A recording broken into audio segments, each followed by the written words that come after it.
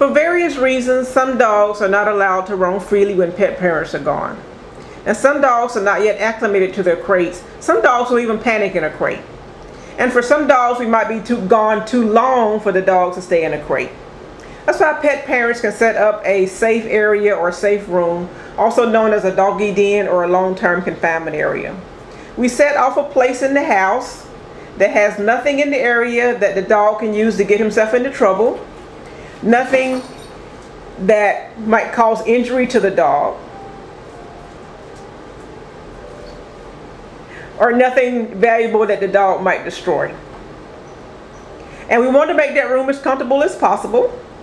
So we'll set up a crate in the room in case the dog does decide voluntarily to retreat to the crate.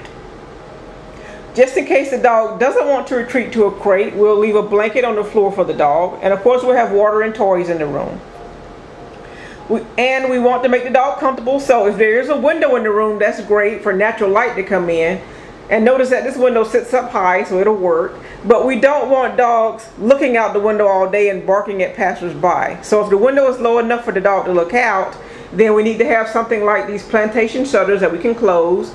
Or we need to block the windows with furniture or some type of film. We also want to make the room secure. One of the ways we can do that is with a baby gate or a gate made especially for dogs. This one is pretty sturdy and it's tall, about four feet. It's made out of metal and it can be screwed into the door frame. But if you have other dogs roaming or you have an escape artist, you don't want the dog's face right up against the baby gate or the dog gate.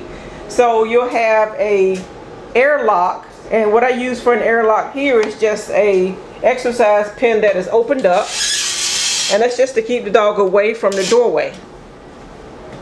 And if you wanted extra security, you could also put another airlock in the hallway leading towards the safe room. Now some dogs might be able to clear a four foot gate. And for those dogs, you'll need a either much taller exercise, you need a taller exercise pen or a taller baby gate. Some people stack two baby gates or you can make this door secure. You can close the door, but some dogs find closed doors very disconcerting. So what you could do is replace this wood door with something like a storm screen door, something that the dog can't destroy but still see out of. Something with glass as long as the dog isn't going to break the glass or jump up on it. Now you want to test out the safety of your safe room before you have to be gone for long periods of time.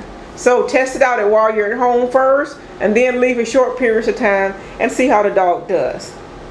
And speaking of long periods of time, if you have to be gone for quite a while, make sure you leave a toilet area for the dog. Find a corner away from the dog's sleeping area and put down some sod or artificial turf.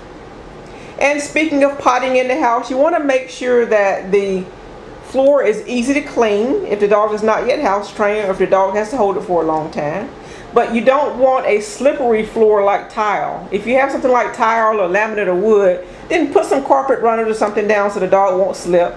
I have rubber flooring here. It's easy to clean and it's easy to walk on. For more training tips, subscribe to our YouTube channel, Pet Education, or follow us on Facebook, Stubby Puddin, S-T-U-B-B-Y-P-U-D-D-I-N. Thank you.